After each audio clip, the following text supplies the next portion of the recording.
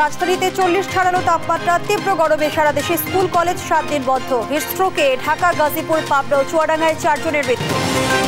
Football ক্রিকেটের মতো দেশীয় খেলাকেও গুরুত্ব দেওয়ার তাগিদ প্রধানমন্ত্রীর। Bangabandhu Bangamata gold cup football টুর্নামেন্টের পুরস্কার বিতরণ। এবং ইরান, ইসরায়েল উত্তেজনায় মধ্যপ্রাচ্যে শ্রম বাজার নিয়ে সংখ্যা স্থিতিশীল রাখতে পদক্ষেপের পরামর্শ সংকট দেখছে না সরকার। আমন্ত্রণ সংবাদ রাতে দেখছিলেন সংবাদ শিরোনাম, সঙ্গে আছি আমি ফার্নাস জুই। এবারে বিস্তারিত। তীব্র খরতাপে পুড়ছে দেশ। পরিস্থিতির ভয়াবহতায় সাত দিনের জন্য দেশের সকল স্কুল, কলেজ বন্ধ ঘোষণা করেছে শিক্ষা মন্ত্রণালয়।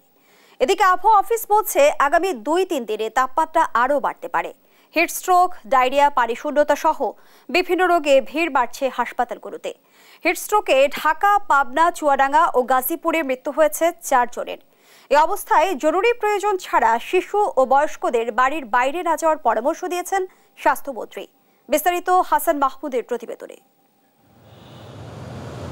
ভারতের পশ্চিমবঙ্গ বিহার সহ বিভিন্ন রাজ্যে সৃষ্ট তাপপ্রবাহের কারণে রাজধানী ঢাকা সহ দক্ষিণ পশ্চিমাঞ্চলে বেড়ে চলছে তাপমাত্রা। তীব্র গরমে হাঁসফাঁস অবস্থা সাধারণ মানুষের। শনিবার এ মৌসুমের সর্বোচ্চ তাপমাত্রা বিয়াল্লিশ দশমিক ছয় ডিগ্রি রেকর্ড করা হয়েছে যশোরে। আবহাওয়া অধিদপ্তরের তথ্য অনুযায়ী এটি অতি তীব্র তাপপ্রবাহ। এদিন ঢাকায় তাপমাত্রা রেকর্ড করা হয়েছে চল্লিশ দশমিক চার ডিগ্রি। বৈরিয়ে আবহাওয়ায় সবচেয়ে বেশি বিপাকে পড়েছেন নিম্ন আয়ের খেটে খাওয়া মানুষ। জীবিকার তাগিদে তীব্র রোদে কাজ করতে হচ্ছে তাদের। গরমে মানসি উই করতে পারতেছে না। ক্লান্ত হয়ে যাচ্ছে মাথা ঘুরে পড়ে যাচ্ছে। অ্যাক্টিভ মারলে ধরেন যে বসে থাকা নাকছে হ্যাঁ? ধরেন যে যাত্রী নাই রোটে প্রচণ্ড রোদের কারণে পরাগরেণু ঝরে পড়ছে বোরো ধানের ঝলসে যাচ্ছে গাছ। একদিকে গরম অন্যদিকে লোডশেডিংয়ে অতিষ্ঠ হয়ে পড়েছেন সাধারণ মানুষ। রোদের তাপ অনেক বেশি এতে মানুষের শারীরিক সমস্যা অনেক। আমার কালকের তনে মনে করেন যে জ্বর। রোদের তাপ বেশি জন্য মনে করেন ঠান্ডা হাওয়া খাইতেছি। রোদের ভিতরে মনে করেন খেত কামড় কাজ করতে যাইতে পারি না। আগামী কয়েকদিনে দেশের তাপমাত্রা আরও বাড়তে পারে বলে সতর্ক করেছে আবহাওয়া বিভাগ। সারা দেশে তিন দিনের হিট অ্যালার্ট জারি করেছে আবহাওয়া অধিদপ্তর। যদি বেশিরভাগ জায়গায় থাকে বাংলাদেশে বেশিরভাগ জায়গায় তাপপ্রবাহ।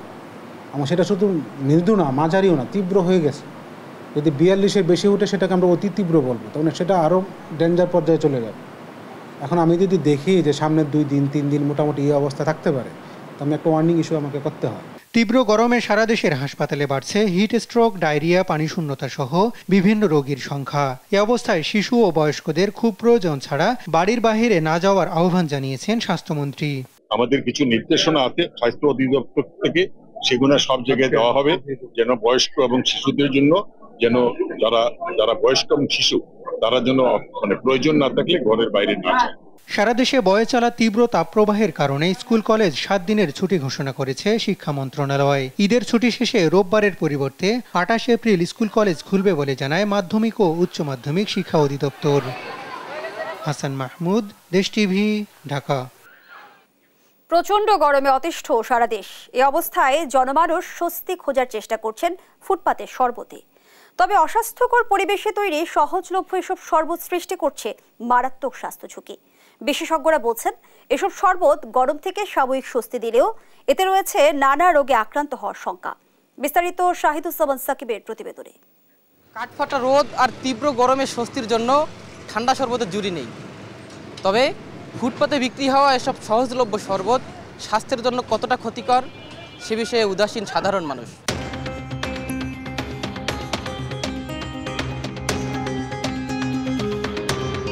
ফুটপাতের এসব শরবত ঠান্ডা করতে ব্যবহৃত বরফ কতটা স্বাস্থ্যসম্মত সে বিষয়ে ধারণা নেই ক্রেতা বিক্রেতা কারোই। পথচারীরা বলছেন তীব্র গরমে তৃষ্ণা মেটাতে বাধ্য হয়েই পান করতে হচ্ছে এসব অস্বাস্থ্যকর শরবত। কারখানার থেকে আঙ্গুরে বরফ দেওয়া যায় আম- কো- কোন থেকে এ এটাও জানি না। বরফটা দেওয়া যায় আমরা বরফ ভালো জানি এটাই। না পানি দিয়ে কোন পানি দেওয়া তৈরি করে আমরা জানি না কারখানা আমরা চিনি না আমরা আনি মনে করেন বাইতুল মোকারাম উত্তর গেড়ে ওইখান থেকে আমি আমরা কিনে আনি বলে দিয়ে আমরা আজকে নিই বরফ ভালো বরফ। সেই জন্য আমরা ওই জায়গাতে আনি প্রচণ্ড গরমের কারণে খাইতেছি আর কারণ কিছু করার নাই। তারা কি দিতেছে এটা তারাই জানে এটা আমি বলতে পারতেছি বরফের জন্য মাছের টাকি আর একই কিনা সেটা আমার জানা নেই।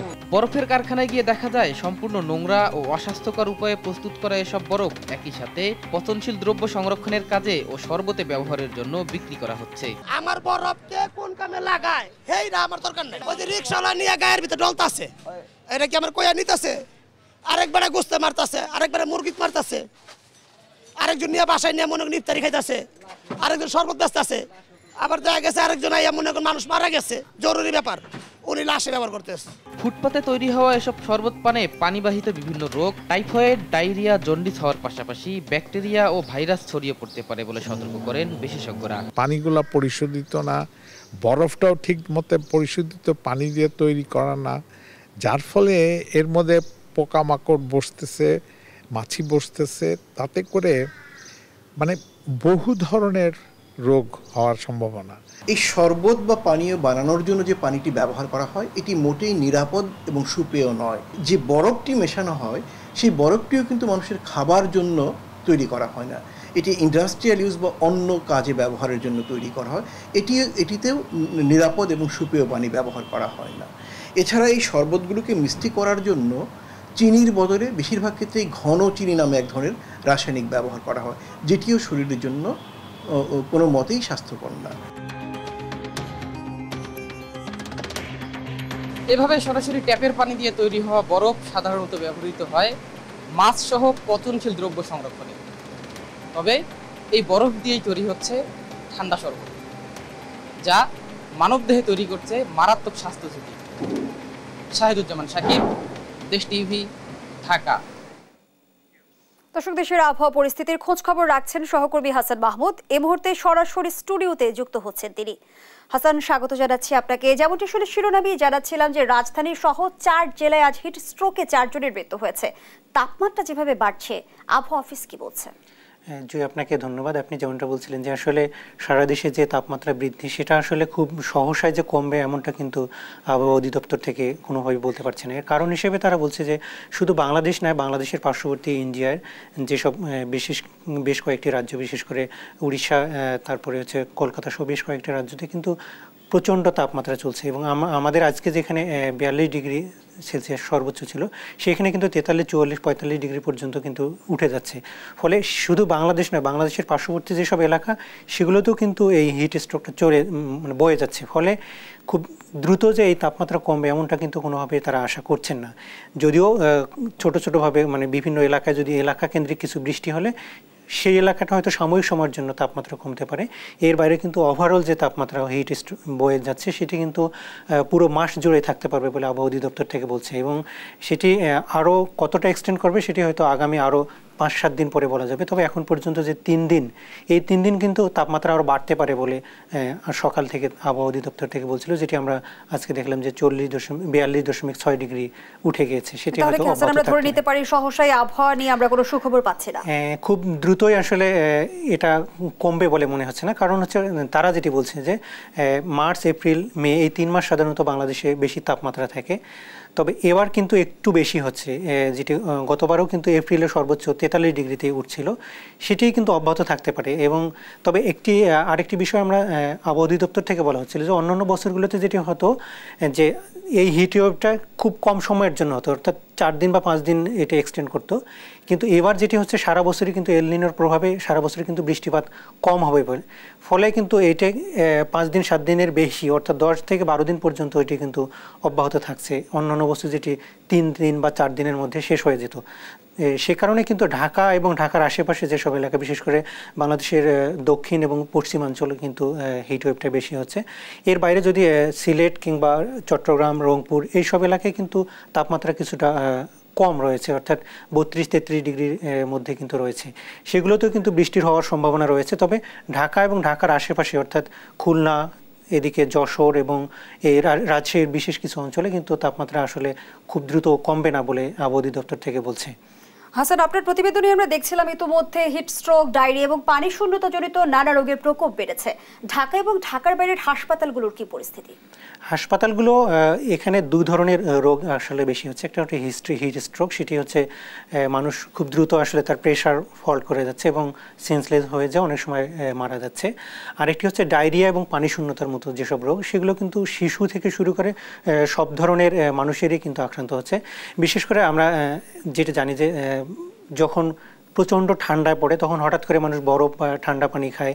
ফলে কিন্তু তার শরীরে একটা প্রেশারে কিন্তু এখানে চাপ পড়ে। অর্থাৎ সে কারণে কিন্তু মানুষ হঠাৎ করে অসুস্থ হয়ে যায়। এর বাইরে এই গরমে যখন মানুষ বাইরে হাঁটাচলা করে, তখন বিভিন্ন জায়গায় বাইরের খাবারগুলো যেগুলো খায় অনেকে, ফুচকা কিংবা চটপটি সহ রাস্তায় যেসব খাবার বিক্রি হয়, সেগুলো কিন্তু গরমের কারণে খুব দ্রুত নষ্ট হয়ে যায়। ফলে সেসব খাবার যখন মানুষ গ্রহণ করছে, ডায়রিয়ার মতো কিন্তু রোগগুলো হচ্ছে এবং বিশেষ করে শিশুরা স্কুল, কলেজে যখন যায়, তখন কিন্তু তারা বেশি খায়। যদিও শিক্ষা শিক্ষা মন্ত্রণালয় থেকে স্কুল বন্ধ ঘোষণা করেছে, সেটি একটি ভালো উদ্যোগ যে, শিশুরা এখন আসলে বাইরে যাবে না কিংবা এই সব রাস্তার খাবারগুলো অন্তত না খেলে কিছুটা অসুস্থতাটা কমে যাবে এবং আমরা দেখছিলাম যে আজকে স্বাস্থ্যমন্ত্রীও বলছিলেন যে বিশেষ করে যারা এই সময়ে যারা শিশু এবং বয়স্ক তাদেরকে বাড়ির বাইরে খুব প্রয়োজন না হলে বের না হতেই তারা অনুরোধ করছেন এবং বিশেষভাবে স্বাস্থ্য অধিদপ্তরের পক্ষ থেকে একটি নোটিশ আগামীকাল হয়তো আসতে পারে এ ব্যাপারে আমরা এতটুকু ধারণা করছি।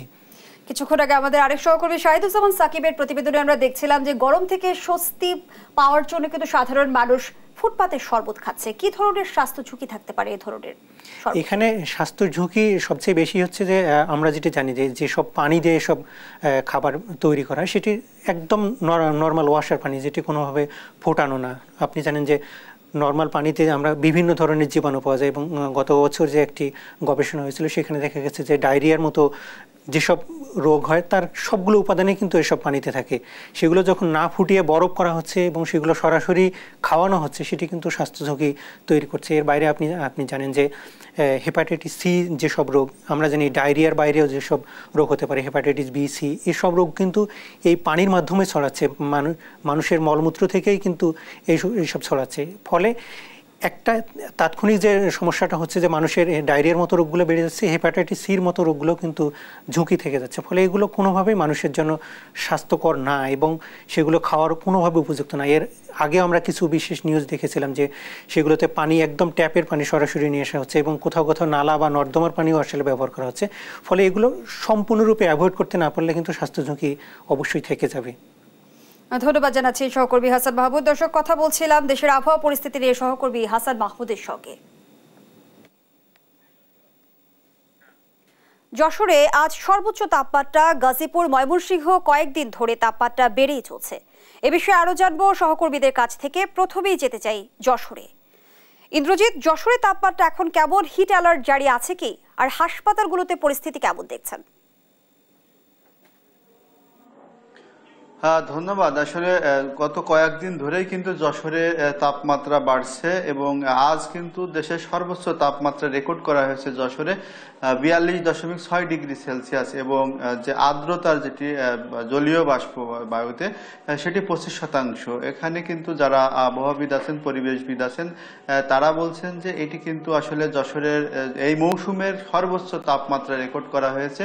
অর্থাৎ এই যে তাপমাত্রা বৃদ্ধির যে কারণ যেটি বলা হচ্ছে, অর্থাৎ যশোর এবং চুয়াডাঙ্গা কিন্তু শীতের মৌসুমে সর্বনিম্ন তাপমাত্রা, অর্থাৎ সবচেয়ে বেশি শীত এবং গ্রীষ্মে কিন্তু সর্বোচ্চ তাপমাত্রা এই যশোর এবং চুয়াডাঙ্গা অঞ্চলে কিন্তু সবচেয়ে বেশি হয়ে থাকে। এখানে আমরা যেটি কথা বলছিলাম সকালে আমি যে একজন ভূগোল এবং পরিবেশ বিজ্ঞান বিভাগের অধ্যাপকের সঙ্গে তিনি আসলে আমাদের এগারোটা লাইভে তিনি বলছিলেন যে যশোরের যে ভৌগোলিক অবস্থান, যশোর এবং চুয়াডাঙ্গা সেটি মূলত যশোরের কথা বিশেষ করে যদি বলি, সেটি যশোরের যে অবস্থান, সেটি বঙ্গোপসাগর থেকে কিন্তু প্রায় দেড়শো কিলোমিটারের মধ্যে এবং বঙ্গোপসাগর থেকে যে জলীয় বাষ্প যেটি প্রবাহিত হয়, সেটি কিন্তু সুন্দরবনের কারণে কিন্তু অনেকটা বাধাগ্রস্ত হয় এবং এ পর্যন্ত আসলে সেভাবে জলীয় বাষ্পটা আসতে পারে না এবং মধ্য ভারতের যে জলীয় বাষ্পহীন যে নিম্নচাপ তৈরি হয়, সেটি কিন্তু যশোর এবং চুয়াডাঙ্গা অঞ্চলে এসে শেষ হয়। এই কারণেই এখানে কিন্তু সর্বোচ্চ যে তাপমাত্রা, উষ্ণতা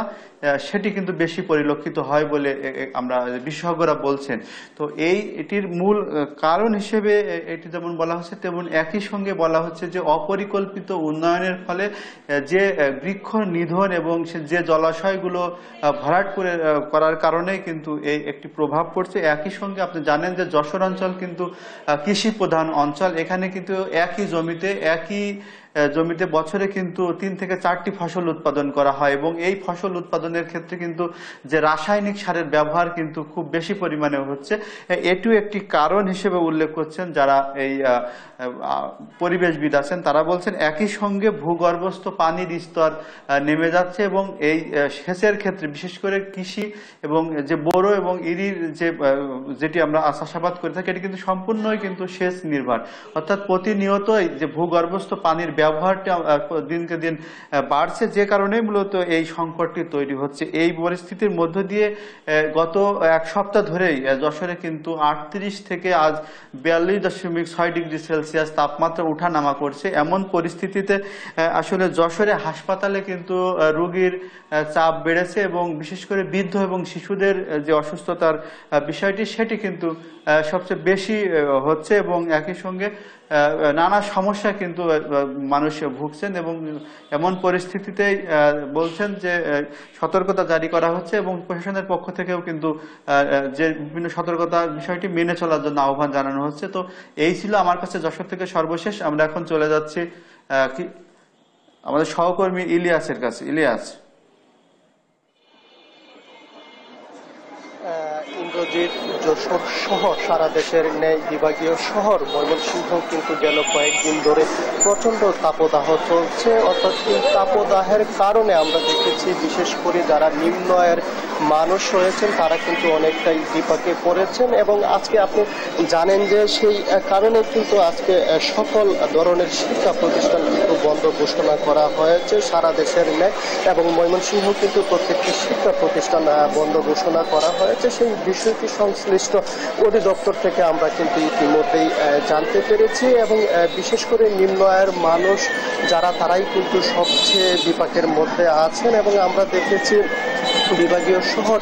এই সময়ে কিন্তু আমরা দেখি যে ময়মনসিংহের গাঙ্গিনা পার্ক সহ নতুন বাজার এবং চরপাড়া এলাকায় কিন্তু মানুষের প্রচণ্ড ভিড় থাকে কিন্তু আজকে কিন্তু সেই ভিড় কিন্তু অনেকটাই কম। অর্থাৎ মানুষ কিন্তু প্রয়োজন ছাড়া ঘর থেকে বের হচ্ছেন না। সেই বিষয়টি আমরা লক্ষ্য করেছি। এছাড়াও তরল খাবারের প্রতি মানুষের কিন্তু যোগ বাড়ছে এবং আখের রস সহ এবং স্যালাইনের ব্যবহার কিন্তু বেশি বেড়েছে এবং চিকিৎসকরাও কিন্তু নানান পরামর্শ দিয়ে যাচ্ছেন। অর্থাৎ ময়মনসিংহের ময়মনসিংহ মেডিকেল কলেজ হাসপাতাল সহ বেসরকারি বিভিন্ন হাসপাতালে রোগীর চাপও কিন্তু বেড়েছে এই তাপদাহের কারণে এবং চিকিৎসকরা বলছেন যে প্রয়োজন ছাড়া মানুষ যেন ঘর থেকে বের না হয় এবং যদিও ঘর থেকে মানুষ বের হয়, রোদের মধ্যে ছাতা যেন ব্যবহার করেন, সেই বিষয়টি কিন্তু তারা বলছিলেন এবং পরামর্শ দিয়ে আসছেন। বিশেষ করে কৃষি ক্ষেত্রে যারা কাজ করে থাকেন, তারাও কিন্তু অনেকটা বিপাকের মধ্যে আছেন এবং সব মিলিয়ে বলা যায়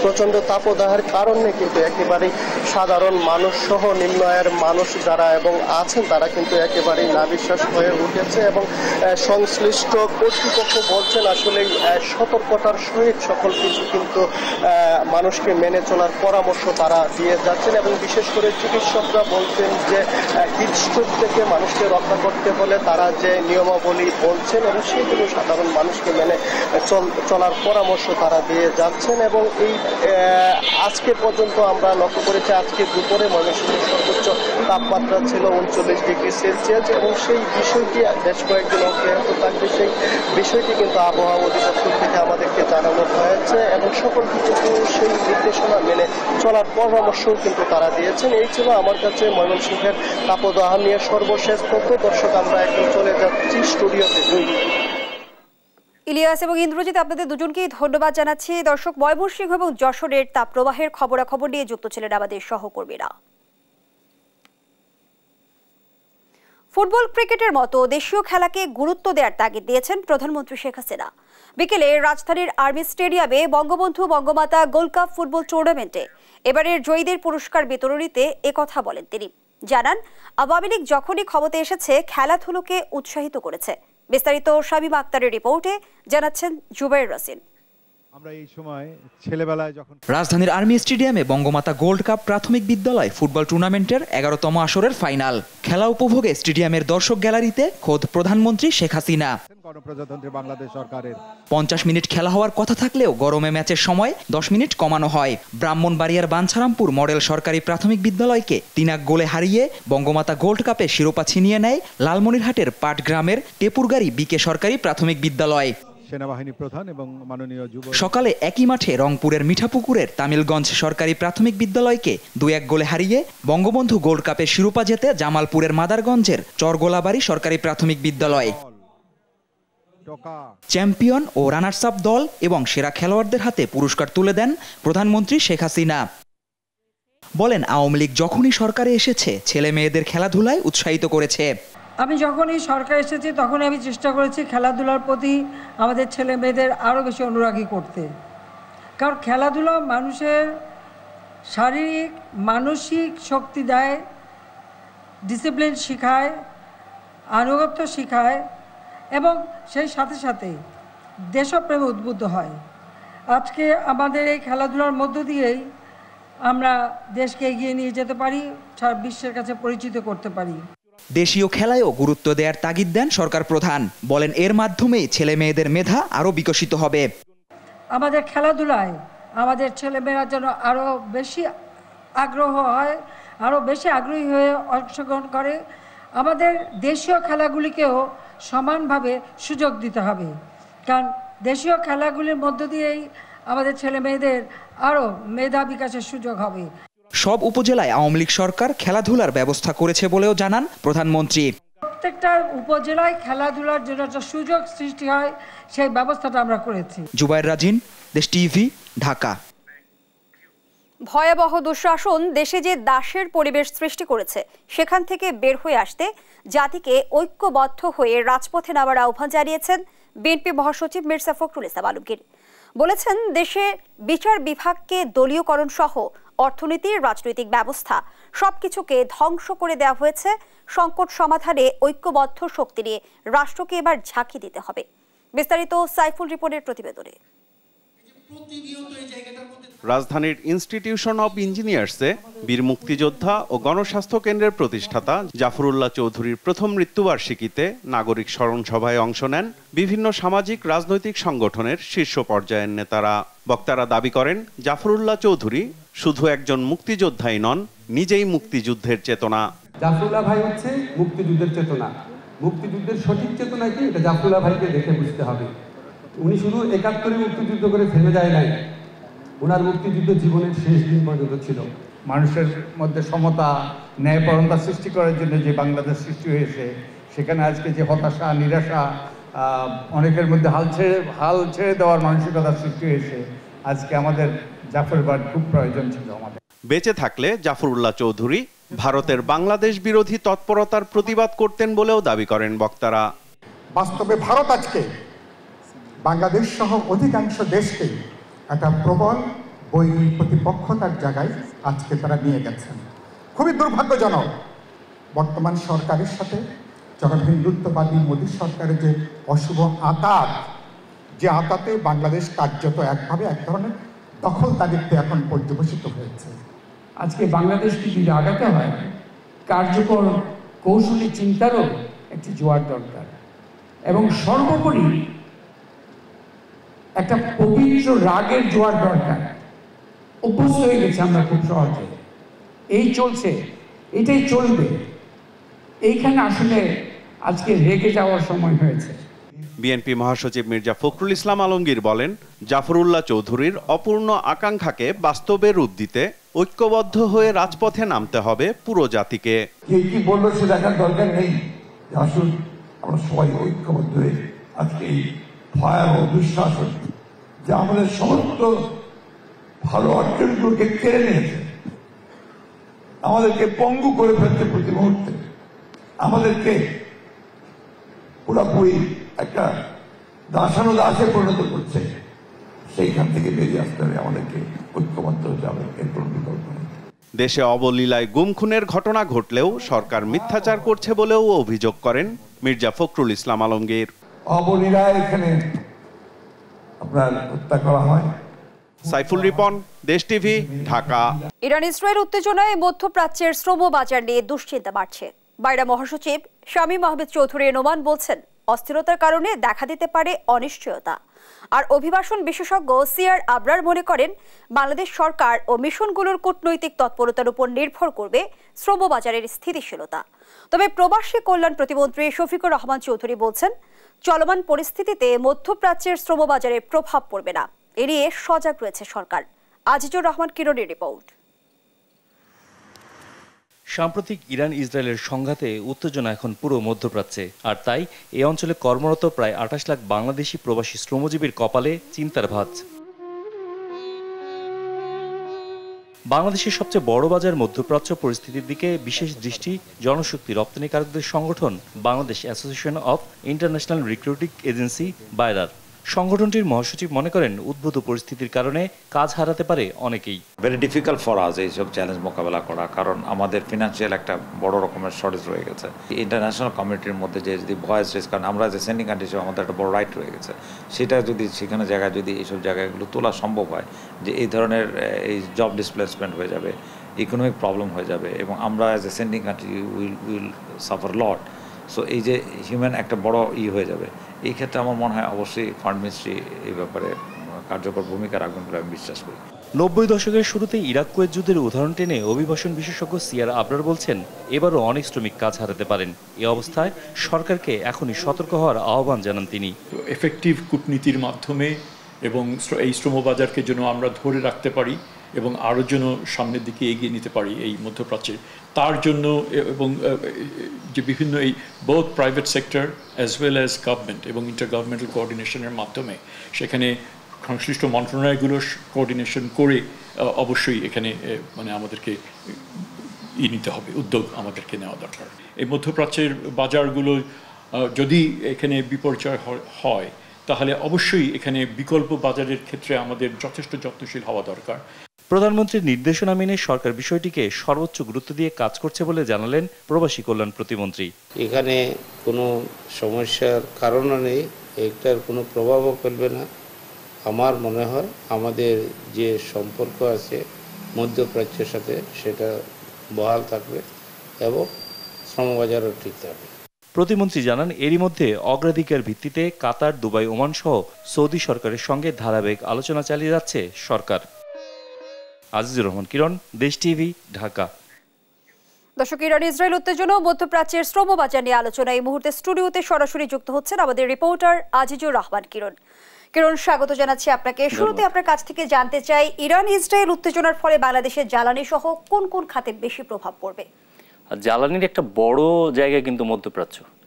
এখন বর্তমান যে চলমান উত্তেজনা চলছে, সেই উত্তেজনার প্রভাবে ইতিমধ্যেই কিন্তু ব্যারেল প্রতি এক দশমিক আট সাত শতাংশ দাম কিন্তু বেড়েই চলে, চলেছে। এবং যার প্রভাব কিন্তু বিশেষ করে আমাদের ক্ষেত্রে যেটা প্রভাব পড়বে, আমরা আমদানি নির্ভর দেশ, আমাদের যে পণ্যগুলো আসবে, সেই পণ্য পরিবহনের ক্ষেত্রে খরচ কিন্তু বাড়বে। পক্ষান্তরে কিন্তু আমরা যে পণ্য রপ্তানি করি, বিশেষ করে যে পোশাক খাত, সেই পোশাক খাতের যে আমরা রপ্তানি করি পণ্য, সেই পণ্য পরিবহনের ক্ষেত্রেও কিন্তু খরচ বাড়বে। তো আমরা কিন্তু এই, এটা বলা যায় যে আমরা বোধ এন্ডেই কিন্তু আমরা ক্ষতির সম্মুখীন হব। বিশ্ববাজার তো হবেই। আমরা ব্যক্তিগতভাবে যদি বাংলাদেশের কথা চিন্তা করেন, তাহলে বাংলাদেশ কিন্তু দুই অর্থেই ক্ষতিগ্রস্ত হচ্ছে। কারণ এক দশমিক আট সাত শতাংশ ব্যারেল প্রতি বাড়া বিশাল ব্যাপার। এবং সুয়েজ খাল অতিক্রম করে যেহেতু আমাদের যেতে হয়, সেহেতু এই তেলের যে চালানগুলো আসে, সেই চালানগুলোর মধ্যে থেকে পরিবহন খরচ বাড়বে। বিভিন্ন, এর প্রভাব কিন্তু পোশাক খাতে পড়বে এবং পোশাক খাতে যে ইতিমধ্যে পড়েনি তা না, একটা অস্থিরতা কিন্তু তৈরি হয়েছে। এবং যে পোশাক খাতে যারা আছে সংশ্লিষ্ট, তারা যে তেল ব্যবহার করছেন, সেখানেও কিন্তু এর প্রভাব পড়বে। সব মিলিয়ে আন্তর্জাতিক বাজারের প্রভাব তো একটা স্থানীয় বাজারে আছেই। পণ্য পরিবহন, পণ্য যেগুলো আমরা আমদানি করব, সেই আমদানিগুলো পণ্যগুলোর মধ্যেও কিন্তু দামের যে পার্থক্য ছিল, সেটি আরও বাড়বে। তো সব মিলে এই জ্বালানি তেলের প্রভাবটা কিন্তু মোটা দাগে বলা যায় যে সব ক্ষেত্রেই ভোগাবে আমাদেরকে। আপনার প্রতিবেদনে আমরা যেমনটি দেখছিলাম, এই উত্তেজনার ফলে শ্রম বাজার নিয়ে একটা বড় ধরনের দুশ্চিন্তার কারণ হয়ে দাঁড়াচ্ছে। কি বলছে বিদেশে কর্মী প্রেরণকারী সংস্থাগুলো? শ্রমবাজারের যেই সংখ্যাটা তৈরি হয়েছে, এটি কিন্তু নব্বই দশকের একটা উদাহরণ টেনে সবাই বলছে, যেটা হচ্ছে তৎকালীন সময় ইরান, ইরাক, কুয়েতের যে যুদ্ধ হয়েছিল, সেই যুদ্ধের কারণে কিন্তু আমাদের অনেক প্রবাসী তখন চাকরি হারিয়েছিলেন। তারা দেশে ফিরতে বাধ্য হয়েছিলেন। সেই ধরনের পরিস্থিতির দিকে যায় কি না এবারের পরিস্থিতি? কারণ এখনও একটি থমথমে পরিস্থিতি। মধ্যপ্রাচ্যের যে দেশগুলো আছে, তারা কিন্তু এখনও একাত্ম না যে ইসরায়েলের এই ব্যাপারে তাদের অবস্থান কি হবে বা ইরানের আক্রমণের ব্যাপারে তাদের অবস্থান কি হবে? সবাই একটা নিশ্চুপ, নিরবতা অবস্থান পালন করছে। সেই প্রেক্ষাপটে শ্রমবাজারে যে প্রভাব পড়তে পারে কিনা, কারণ আঠাশ লাখের বেশি শ্রমিক কিন্তু মধ্যপ্রাচ্যের বিভিন্ন দেশে কাজ করছেন। তো তারা হয়তো বা বিভিন্ন ক্ষেত্রে যদি ক্ষতিগ্রস্ত হয়ে যায়, তারা যদি ক- কর্মহীন হয়ে- সেক্ষেত্রে কিন্তু আমাদের রেমিটেন্সের প্রভাব পড়বে এবং তাদের যে পারিবারিক যে জীবন আছে, সেই বিষয়গুলোতে প্রভাব পড়বে। তো এই বিষয়ে কিন্তু বেসরকারি রিক্রুটিং এজেন্সি সংস্থা যে বাইরা মহাসচিব, তার সঙ্গে আমরা কথা বলছি, তিনি বেশ উদ্বিগ্ন যে তারা বলছেন যে এটি কূটনীতিক তৎপরতার মাধ্যমে যেহেতু গ্লোবাল পলিটিক্স গ্লোবালি এটা আসলে আমাদের স্থানীয় পর্যায় থেকে নিয়ন্ত্রণের কোনো সুযোগ নেই। কিন্তু দুতিয়ালিগুলো চালিয়ে যাওয়া, যাতে শ্রমবাজারের উপর কোনো চাপ না আসে, সেক্ষেত্রে আপনার আবাসন বিশেষজ্ঞ সিআর আবরারও কিন্তু একই কথাই বলেছেন, যে আমাদের মিশনগুলোকে আরও অ্যাক্টিভ হওয়া প্রয়োজন। পররাষ্ট্র মন্ত্রণালয়কে আরও প্রোঅ্যাক্টিভ হয়ে বিভিন্ন মিশনগুলো থেকে অ্যাক্টিভ করে সরকার পর্যায়ে আলাপ আলোচনা করা, যাতে শ্রমিকদের কর্মসংস্থানের ব্যাপারে কোনো সমস্যা তৈরি না হয়। আপনি জানেন যে এর মধ্যে একদিন পরে কাতারের আমির আসছেন বাংলাদেশে, হয়তোবা তার আলোচনা, সেক্ষেত্রেও কিন্তু এই আলোচনাটা প্রাধান্য পাবে যে শ্রমবাজারের নিশ্চয়তা কীভাবে দেয়া যায়। এবং মধ্যপ্রাচ্য যেহেতু আমিরাতের একটা বড় ভূমিকা আছে কুয়েতের একটা বড় ভূমিকা আছে তারাও কিন্তু এটা নিয়ন্ত্রণ করতে পারবে যে কাতারের আমি আমির আসছেন, তিনি কিন্তু এটা নিয়ন্ত্রণ করতে পারবেন বা একটা আশ্বাস দিয়ে যদি আমাদেরকে দেয় যে শ্রমবাজারের কোনো ধরনের সমস্যা হবে না। তো সেক্ষেত্রে অনেকগুলো সংখ্যা আছে এবং আপনি জানেন প্রধানমন্ত্রী সর্বোচ্চ গুরুত্ব দিয়ে কিন্তু এই পরিস্থিতি, মধ্যপ্রাচ্যের এই পরিস্থিতি যাতে মোকাবেলা করা যায়, সেই জন্য কিন্তু বিভিন্ন মহলকে আগ্রহী হয়ে কাজ করার আহ্বান জানিয়েছেন। সবাই কিন্তু প্রোয়াক্টিভভাবে কাজ করছে। এখন দেখার বিষয় যে এই কাজগুলো দিন শেষে অ্যাকুমুলেটেড হয়ে কীভাবে একটা রেজাল্টে পরিণত হয়। অর্থাৎ আমাদের বিশাল শ্রমবাজারের উপর যাতে কোনো প্রভাব না পড়ে সেদিকে হয়তো বা সবাই দৃষ্টি কিন্তু প্রবাসী কল্যাণ প্রতিমন্ত্রী আশ্বস্ত করেছে যে চলমান পরিস্থিতিতে মধ্যপ্রাচ্যের শ্রমবাজারে কোনো প্রভাব পড়বে না এবং সরকার এ বিষয়ে সজাগ রয়েছে। সরকারের পক্ষ থেকে কি কি ধরনের পদক্ষেপ নেওয়া হচ্ছে? সরকার আসলে আহ, প্রত্যেকটা দেশের শ্রমবাজার নিয়ে কিন্তু প্রতিটা দেশের সঙ্গে আলাদা সমঝোতা স্মারক আছে। অর্থাৎ আপনি বলে যদি বলেন সৌদি বলেন কাতার বলেন কুয়েত বলেন ইরাক আরব আমিরাত বলেন দুবাই বলেন সবার সঙ্গে তো আলাদা একটা সমঝোতা স্মারক আছে যে আমরা এই ধরনের শ্রমিক নিব এই ধরনের শ্রমিক এভাবে নিচ্ছি। সেই চুক্তিগুলোর সমঝোতাগুলোর আলোকেই যাতে তাদের সঙ্গে কথাবার্তা বলা যায়। এবং পররাষ্ট্র প্রবাসী উম, মন্ত্রী উনি কিন্তু জানিয়েছেন যে তারা ইন্ডিভিজুয়ালি প্রতিটা দেশের সঙ্গেই এই বিষয়ে কথা বলছেন। যে যাতে শ্রমিকদের কোনো সমস্যা না হয় তারা যাতে কোনো কাজ না হারায় এবং আলটিমেটলি তারা কাজ হারালে কিন্তু আমাদের বাংলাদেশের যে সবচেয়ে বড় দ্বিতীয় আয় যেটি বলা হয় রেমিটেন্স সেই রেমিটেন্সের উপরেই প্রভাব পড়বে। সেই প্রভাবটা যাতে না আসে সেজন্য কিন্তু সরকার যথাযথ চেষ্টা করছে। আমরা যতটুকু প্রতিমন্ত্রী আমাদেরকে জানিয়েছেন। ধন্যবাদ জানাচ্ছি সহকর্মী আজিজুর রহমান কিরণ। ধন্যবাদ। দর্শক এতক্ষণ কথা হচ্ছিল আমাদের রিপোর্টার আজিজুর রহমান কিরণের সঙ্গে।